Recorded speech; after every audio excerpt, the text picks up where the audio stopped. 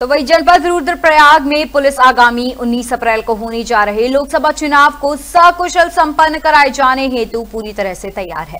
दरअसल पुलिस प्रशासन ने मतदान को शांतिपूर्ण रूप से संपन्न कराने और सुरक्षा व्यवस्था की दृष्टि से सभी तैयारियाँ पूरी कर ली हैं।